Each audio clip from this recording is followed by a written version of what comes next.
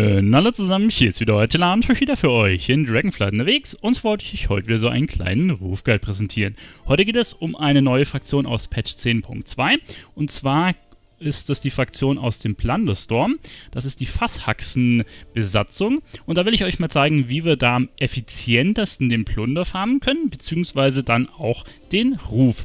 Und als allererstes sind wir hier einmal in WoW schon eingeloggt, also im Retail. Und dort können wir uns die Fraktion bei einem NPC angucken. Wir sind nämlich einmal im Gasthaus in Walddraken. Und dort haben wir hinten im Eck jetzt diesen Ork hocken und der hat uns einmal hier die Übersicht von der Fraktion. Da gibt es ja alle möglichen ähm, Sachen von T-Mog bis Mounts und auch ein paar Pets.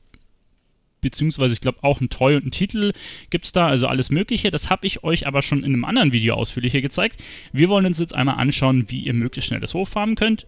Ich bin mittlerweile schon auf 40 angelangt und habe so ein paar Erfahrungswerte gesammelt. Ich würde sagen, da schauen wir jetzt einmal rein.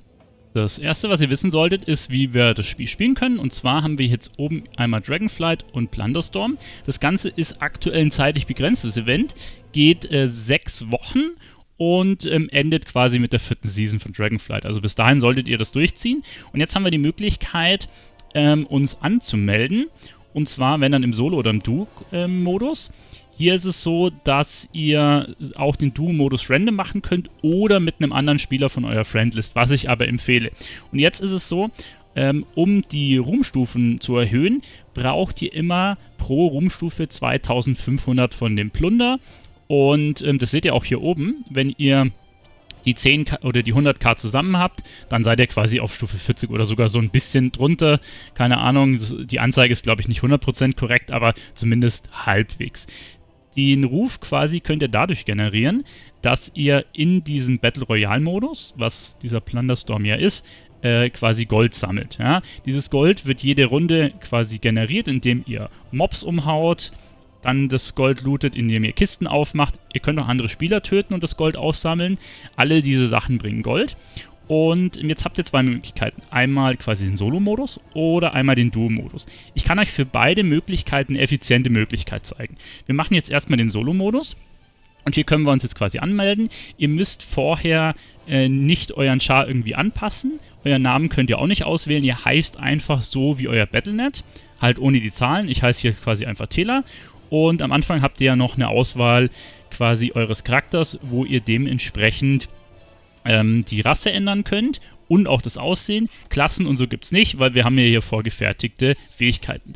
Und sobald wir hier reinkommen, müssen wir warten, bis insgesamt dann 60 Leute voll sind. Und ich würde sagen, das skippen wir jetzt und ich zeige euch gleich mal, wie am besten im Solo-Queue die Goldregeneration ist. So, jetzt seht ihr, haben wir genug Leute, beziehungsweise anscheinend reichen auch schon 59 von 60. Und dann geht hier der Timer los und das Ding startet. Es ist jetzt so, dass ihr einmal pro Tag einen Dublonenbonus bekommt. Und das sind 800. Diese 800 bekommt ihr, wenn ihr die Quest, die ihr quasi in jedem Event kriegt, einmal abgeschlossen habt. Ne? Und ähm, die Quest bringt immer 250. Wir wollen jetzt schauen, dass wir möglichst auf einem Elite-Mob landen. Nach einer Weile habt ihr raus, wo die Elite-Mobs sind. Also wir können es ein bisschen steuern. Ich fliege jetzt direkt hier auf den ersten Elite drauf. Und ihr seht, er stirbt instant. Lootet direkt die Sachen. Und meine Quest ist jetzt die beste, die es gibt. Gold looten. Seht ihr? Ich habe das Gold gelootet. Quest abgeschlossen. Für die Quest gibt es 250. Und für die ähm, quasi Daily gibt es 800. Also ich habe jetzt innerhalb von 20, 30 Sekunden habe ich jetzt 1000 bekommen. Und jetzt schaue ich, dass ich mich schnell umbringe. Ich sterbe jetzt. Und jetzt kriege ich 1088 Rufe habe ich jetzt verdient. In wirklich unter einer Minute. Das ist das effizienteste, was ihr machen könnt. Jetzt lieft ihr, queued neu rein und macht dasselbe nochmal. Das längste ist halt, bis ihr reinkommt, bis das Game losgeht aber viel schneller könnt ihr nicht Ruf haben. Ihr kriegt natürlich nicht jedes Mal die 1000 ähm, irgendwas, sondern dann halt 250 plus das, was äh, ihr halt aufgesammelt habt. Es gibt hier verschiedene Quests. Ich habe jetzt gerade die beste Quest gekriegt. Das ist jetzt der ideale, äh, der ideale Modus, um das vorzustellen. Ich muss einfach nur 30 Gold looten. Heißt, durch ein paar Haufen laufen, die liegen da, fertig. Es gibt eine Quest, da müsst ihr 10 Mobs töten, die habt ihr auch schnell erledigt. Es gibt eine Quest, da müsst ihr zwei Elite-Mobs töten, äh, ihr landet am besten, wie ich es gerade gemacht habe, immer auf einem Elite-Mob. Dann habt ihr schon mal einen, läuft zum nächsten, killt ihn und auch wieder raus ist der Nummer. Dann gibt es, äh, da müsst ihr drei ähm, quasi Fähigkeiten looten. Fähigkeiten sind quasi Offensive und Unterstützung. Dann, der Elite droppt auch immer eine und dann haut er noch ein paar Mobs um, am besten noch eine andere Elite, kriegt er meistens die Fähigkeiten auch schnell zusammen. Und was dann das Beschissenste ist, ist quasi ähm, zwei Gegenstände looten. Und wenn ihr dann nicht einen Haufen Kisten rumliegen habt, könnt ihr eigentlich instant äh, leaven. Ja? Also da könnt ihr dann einfach rausgehen und ein neues Game machen. Ich bin auch schon über 10 Minuten rumgelaufen, habe zwei Gegenstände gesucht. Ja, also wir können jetzt gucken, was ich jetzt für eine Quest krieg. Ah, ich habe wieder Beute sammeln. Perfekt. Bin schon wieder fertig. Seht ihr? Da habe ich 250, jetzt kann ich mich wieder einfach umbringen und wieder neu rein. Ihr könnt natürlich, wenn ihr jetzt hier Goldkisten rumliegen habt, die nehmt ihr natürlich noch mit. So eine Goldkiste, ne? Also die kämpfen jetzt gegeneinander. Können wir so eine Goldkiste theoretisch noch mitnehmen. Da kommt nämlich noch einiges raus. Die sammeln wir natürlich nur ein, die Sachen. Sagen wir 300 oder so. Und dann könnt ihr euch, oder schon mal da hinten liegt auch noch was, dann könnt ihr euch wieder umnatzen lassen. Äh, ihr könnt natürlich auch das Game zu Ende spielen. Im Solo-Queue finde ich es aber persönlich besser, das so zu machen. Dann hat man in einer Stunde effizienter Gold gefarmt, als wenn man es komplett fertig spielt, weil gegen Ende gibt es nicht mehr sonderlich viel. Also das ist so die effizienteste Möglichkeit um quasi im Solo-Queue das Gold zu farmen. Im Duo-Queue kann ich euch empfehlen, jemanden, ähm, den ihr habt, von eurer Battlenet-Liste einzuladen und mit dem auch ins Voice zu gehen. Und da wird es jetzt auch interessant, ähm, das komplett fertig zu spielen. Die, die Taktik, die ich euch empfehlen würde im Duo, ist möglichst irgendwo am Rand zu landen, wo keine anderen Spieler sind äh, da kann ich empfehlen, wir gehen jetzt einfach mal rein, dass ich euch ein bisschen die Map zeigen kann. Vielleicht äh, macht es Sinn. Ähm, denn ihr wollt am Anfang möglichst nur PvE. Heißt, ihr haut nur Mobs um und wollt nicht gegen andere Spieler kämpfen. Ihr wollt möglichst schnell nach oben leveln, möglichst viele Mobs ähm, quasi looten. Das Wichtige ist, in der Duo-Queue ist es so, dass ihr mit einem anderen Spieler zusammenspielt und äh, das Gold und dementsprechend auch den Ruf, den ihr bekommt, ähm, geteilt wird. Heißt, wenn jemand anderer Gold aufsammelt, kriegt ihr das auch dazu auf euer Konto. Außer wenn ihr tot seid, sobald ihr tot seid, ihr könnt zwar geretzt werden, aber solange ihr tot seid und nicht geretzt seid, äh, was der andere Spieler aufsammelt, das kriegt ihr nicht. Aber solange ihr beide lebt, könnt ihr auch auseinanderlaufen und quasi äh, beide looten. Und ihr kriegt auch die EP vom jeweils anderen. Heißt, ihr kriegt quasi im Duo-Queue das Doppelte an Loot. Deswegen ist es wesentlich sinniger, das zu farmen, solange ihr jemand habt und das Game auch fertig zu spielen, denn da laufen natürlich dann auch ein Haufen andere Leute um, die ihr umklopfen könnt und da könnt ihr richtig viel Gold kriegen. Also, ich zeige euch jetzt mal kurz die Map. Was ich empfehlen kann, wo ich ganz gern anfange, ist, wenn dann hier in der Burg Sturmgard, das läuft relativ gut. Hier in der Bucht kann man auch anfangen. Da außen im Axtlager, bei den Ogern, ja. Hier, weil die meisten sind immer in der Mitte, ja. Ähm, oder was auch eine ziemlich gute Sache ist im Duo-Queue, ist hier in der Goldmine. Denn da sind immer relativ viele Goldkisten. Ja? Also da kriegt man am Anfang so viel Gold rein und dementsprechend auch EP. Also das kann sich auch ziemlich gut lohnen, genau. Und wie gesagt, am besten mit eurem Mate an einem äußeren Spot landen.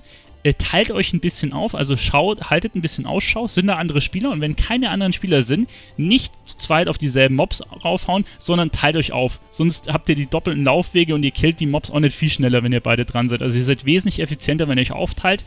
Ihr sollt euch halt nicht aufteilen, wenn andere Spieler da sind, weil sonst klopfen euch die einzeln weg. Das ist klar, ne? Und ja, dann könnt ihr relativ schnell hochleveln. Und wenn ihr quasi hoch genug vom Level sein und die richtigen Fähigkeiten habt, dann jagt andere Spieler und lootet die auch. Da kommt nämlich extremst viel Loot raus. Ähm, warte mal, wir können jetzt hier rausgehen, das brauchen wir jetzt eigentlich nicht spielen. Und ich äh, hänge euch auch eine Aufnahme ran, wo ich das ähm, mit einem aus dem Stream hier fertig gespielt habe. Zum Beispiel hier, wir haben hier ähm, eine Runde gewonnen, ne? Und seht ihr, wir haben in einer Runde fast 4000 Ruf erspielt. Ja? Also wenn ihr das richtig macht, könnt ihr extrem viel Ruf äh, holen. Ich würde jetzt mal sagen, die Runde hat vielleicht eine Viertelstunde oder ein bisschen länger gedauert. Ja? Man kriegt nicht jedes Mal so viel, aber knappe 3K gibt es eigentlich immer, wenn man gewinnt. Es gibt nämlich noch einen Rufbonus von 500, wenn ihr gewinnt. Also selbst wenn ihr jetzt auch Dritter oder Vierter werdet, habt ihr immer noch 2500 oder sowas. Ja? Also da kommt viel rum. Wenn ihr natürlich gleich am Anfang abnibbelt, klar, dann gibt es natürlich nicht so viel. Aber solange ihr äh, halbwegs... Äh, quasi bis zum Ende hochkommt. Also wir haben, glaube ich, in der Runde allein schon mal über 2000 Gold äh, oder ja, so um die 2000 Gold gefarmt, bevor wir gegen andere Spieler gekämpft haben. Ja? Also, und dann natürlich das Gold von den anderen Spielern noch, den Win-Bonus, da kommt sehr, sehr viel zusammen. Jetzt schaue ich gerade, ach doch, die Aufnahme ist äh, 13 Minuten irgendwas lang. Heißt, also es hat sogar unter eine Viertelstunde gedauert, die Runde. Also da könnt ihr sehr, sehr viel Gold machen. Und ihr seht, in dem Match habe ich Gegenstände sammeln. Und das müsst ihr aber einzeln machen. Wenn euer Teammate das aufsammelt, dann zählt das irgendwie nett für euch. Ich habe nicht mal das Ziel äh, gespielt hier und habe trotzdem fast 4K zusammen gehabt. Also äh, das ist auf jeden Fall eine sehr, sehr effiziente Angelegenheit, wenn ihr halt jemand habt, mit dem ihr das zusammen machen könnt. Ihr könnt natürlich auch random machen, aber da hast du natürlich wenig bis keine Absprache, das ist ein bisschen schwierig. Genau. Ähm, ich werde dem ähm, die Tage auch noch ein Video erstellen, wie man am besten das Ding gewinnt, wo ich dann so ein bisschen über die Fähigkeiten nochmal spreche.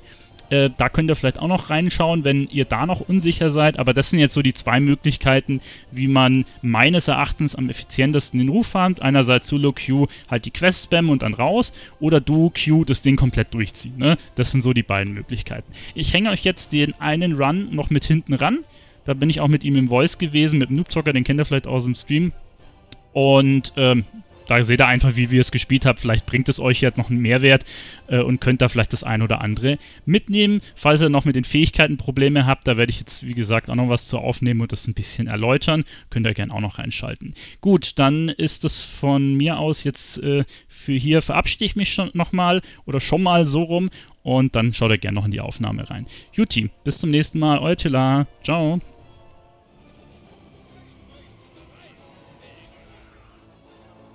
Oh, direkt Feuersturm schmeckt. Boah, der ist natürlich nice. Ah, der hätte es gerne, oder? Schon, ja.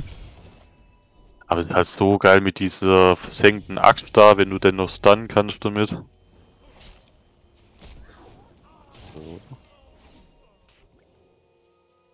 Oh, zwei Gegenstände sammeln, äh. Ja, das ist wieder die absolute Kack-Quest. Aber wenn wir gut gewinnen, dann ist eh Lachs.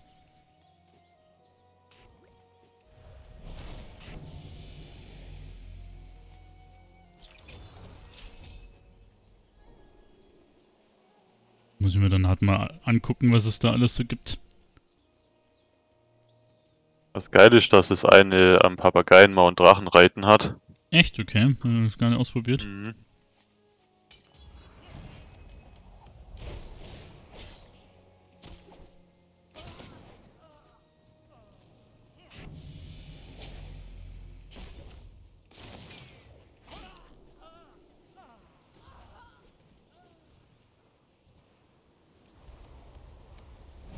Unten gibt es auch noch BGP.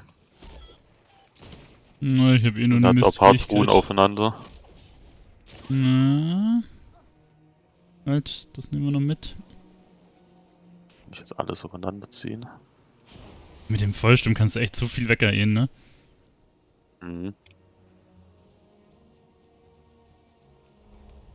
Mach du mal in dem Lager das Zeug, ich sammle mal die einzelnen Goldhaufen noch auf. Mach hier ein paar kleine Dinos. Stärkste, was ich habe, ist mein äh, Auto-Hit. Ja. Jetzt so ein Sturm auch in Level 2, falls du den willst. Äh, ja, warte mal, ich schau mir mal das an.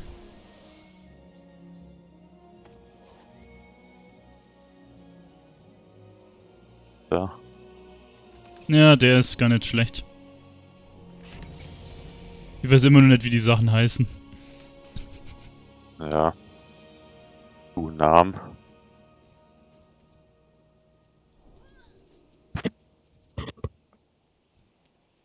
Danach können wir mal runter auf den Bauernhof. Das sieht nicht so aus, als ob da jemand wäre. Ganz Ja, wir leben noch.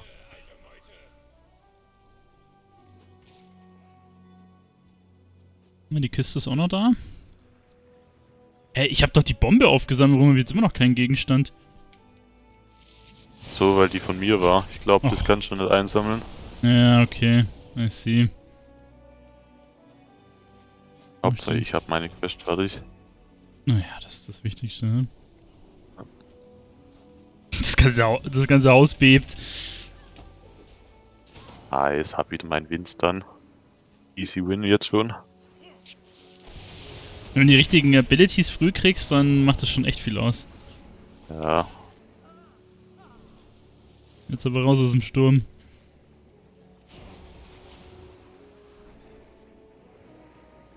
Lauf nicht weg vom Sturm, der Sturm läuft weg von mir. So ein Ding. Achso. Ja, wenn wir jetzt die beiden Elite noch haben, müssen wir Level 8 sein. Dann muss man ein recht gutes Level von Start. Naja, also. Warte mal, hier ist glaube ich nochmal so ein Sturmding, was du haben willst, oder? Yes.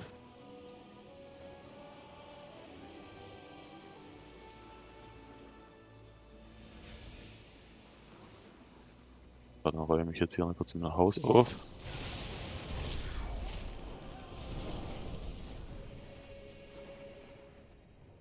Das Sturmding habe ich jetzt auf 4.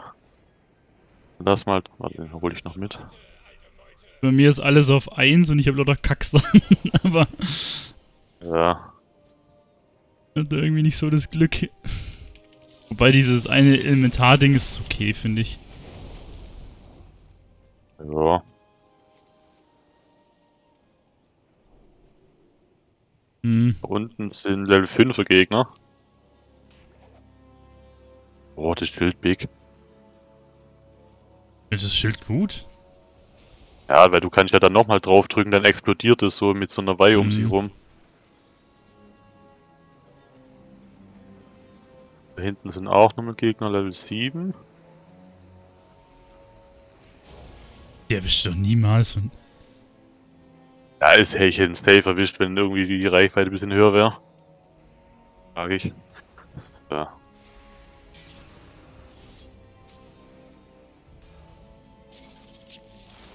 Weißt der hat mir so ein Sturmding gedroppt. Oh, der hat mein Mana-Sphäre dabei. Und den miele ich weg. Hettelt. Und glaub grad auch andere. Scheiß grad massiv rein, Hilfe. Sind die tot? Nee, da. Ach, der der- eine, der rennt da noch. Ich hab ein bisschen verämt. Hier habe ich ihn getroffen. Ja, seit wann hast du das Feuerding? Die ganze Zeit. Achso, stimmt, du hast ja am Anfang gelootet. Die Nevermind. scheiß wütende Hühner, die du da hinwerfen kannst, die haben einmal einfach mich geholt. Das war meine Ja, die, Hühner, greif, die einfach greifen alles an, das ist mir auch schon aufgefallen. Aber mit dem Scheiße, kriegst die du EP. dahin. Die einfach komplett auf mich los. Hm. Also da unten ist nichts mehr, da brauchen wir nicht hingehen. Ist noch ein ordentlicher Kampf. Den Sturm hast du fertig, oder wie? Mit dem Stun? Ja, den habe ich auf 4. Ja. Hm, ich bin überlegen, ob ich... äh, Ah, hat Level 7 die fast tot sind. Meinen Loot aufsammeln, ich werde nicht mehr.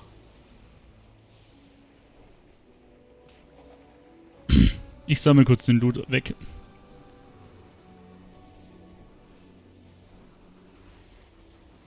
Ding ist eigentlich auch nicht schlecht, die Oh. Falle. Und Alter, bin ich kacke.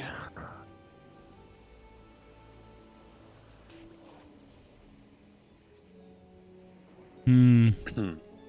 Komm, ich nehme die Falle mit. Eigentlich, Scheiß auf eigentlich Schild. das Bonusziel irgendwas, wenn du den Typ tötest da, diesen Opulenz-Ding. Hm, weiß ich jetzt nicht, aber er droppt halt so eine Kiste, ne? Da ist Level 7er.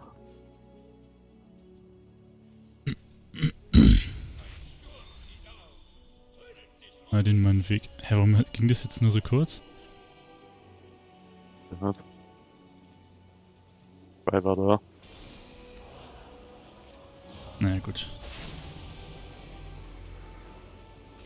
Aber irgendwie das Gefühl, dass diese Heilung auch bei Weitem besser heilt, wenn du höheres Level hast. Also Ich- prozentual. Ich glaube,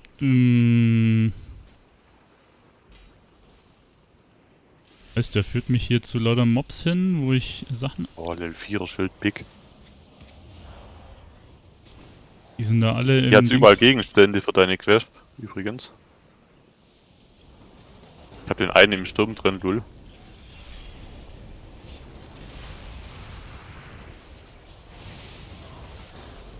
Ja, Weg. große Orb drauf.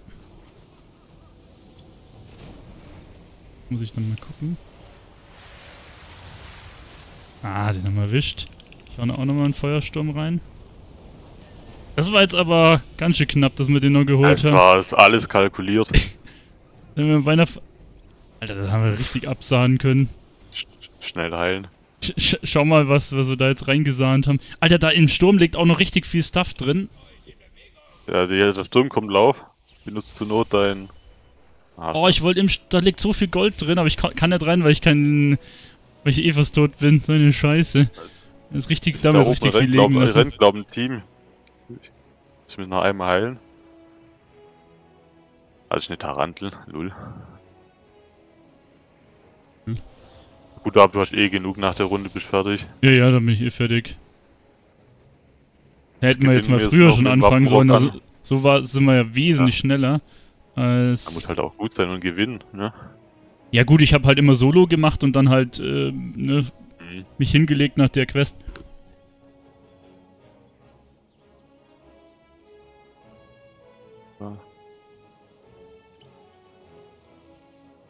Ich habe jetzt alles komplett auf 4. Diesen Wegstoßen 4, Wirbelsturm 4, Schild 4, Feuersturm 4. Na, mir, mir fehlen die quasi, wie heißen sie, Unterstützungsfähigkeiten. Dass die alle da hinten waren, das ist ja immer noch ein relativ großer Bereich, ne? Ja. Ich konnte jetzt gar nicht gucken, was jetzt da noch 8. so ein Loot war. Da hinten sind Ich- zwei Teams. Da stand der Seite ist auch nochmal ein Team, die sind Stufe 6, lass die mal wegatmen. Wo siehst du die denn da hinten? Okay, warte. Da hinten. Ich will nur meine Sachen da irgendwie ab... Feuerwirbel ist da noch. Bild. Bei mir mache ich einfach eine Windstreak. Ja, ja, ich bin dann eh Max, aber wir können sie noch gewinnen, oder? Why not? Ja.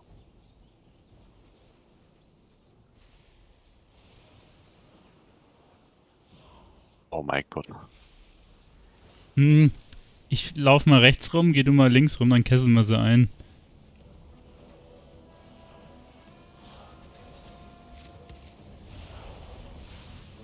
Okay, ich glaube, wir haben uns gegenseitig getroffen. Der Schreiber da. Fuck, den haben wir erwischt. Den einen habe ich, den CC. Nice. Tot. Haben wir weggemacht. Schön reingewirbelt. Connor kriegt noch eine Kugel. Ah, schade. Ich hol's Gold. Den Nicht, dass es nicht. Den. Mach du den mal. Ja, der rollt gerade nach Afrika. Nicht, dass das Was will der denn? Sein Mate ist eh tot. Gib mir dein Gold. Ein Überfall. Da, ganz oben ist er. Ja gut, da... Ja, das wird jetzt ein bisschen dauern, bis wir da hinkommen. Da hinten sind Gut, dann noch. sein- also sein da ist Mate kann er eh nicht mehr Wir retzen. sind einer. Da hinten sind zwei. Ein bisschen hoch im Berg. Bräuchte ich schon gleich auf wenn- Himmelsnadeln. Ja, wenn, wenn du eine Fee, Feengestalt siehst oder eine Stachelfalle, dann sag das. Der Typ hat eine Fehlengestalt dabei. Der wird sowas von weggemacht.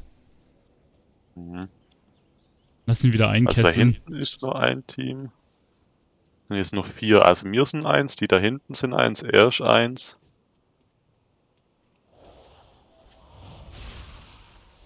Oh, hör doch weg zum Rennmann. Ja, der zieht uns ins andere Team rein. Die anderen Ne? sind Level 4, what? Da im Busch sitzt der drin. Hab ihn? Nein, jetzt rennt er mit der Feengestalt rum. Aber ich habe den anderen getroffen da oben. Also durch Zufall. Ja, so sauer. Der läuft jetzt in den Wind rein, oder? So, jetzt, das war's jetzt mit dir, Freund.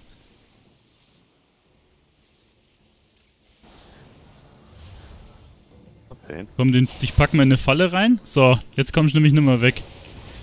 Ähm. Deswegen mache ich die Falle. Ah, die, Fe die Feengestalt, die nehme ich jetzt mit. Drei Teams dann gleich heilen, wenn keiner kommt. So. Da Ja, hinten so- rennt noch ein Achter-Team rum und dann glaub noch ein Level 4er. Also eigentlich muss easy win sein, Warum sind denn die alle so low? Also ich. wir einfach besser sind. Einfach besser. Ja, einen Schuss reden wir nicht. Ah, siehst du, beide getroffen. So, der wird jetzt hier weg inhaliert.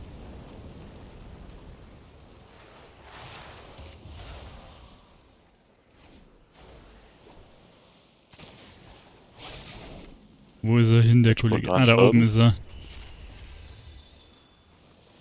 Ja, jetzt macht dein Feuersturm an. Okay, also einen habe ich schon mal erwischt. Ich glaube, diesmal haben wir sogar noch mehr Punkte. Können wir auch das hochladen. Ist dann. Ja, einfach Compilation und tot. Jetzt kann ich nicht mehr mehr looten. Alter, das waren jetzt Oh, fast vier- 4200 wieder. Oh mein Gott. Ich hab, ich hab die Quest nicht fertig gekriegt. Ich hab die Dinger nicht Ja, gelootet. Ich hab, ich hab nur 3966. Einfach, einfach eine Win-Compilation aus allem. Hast ja genug Material, kein Ding. Wunderbar. Nur wieder gern. Jetzt einfach fünf Stufen in. Ja, so geht's halt Und- mega schnell, ne? Mhm. Geh mal richtig weggemacht. Vortag, was für ein Level bist du? Ein bisschen besser.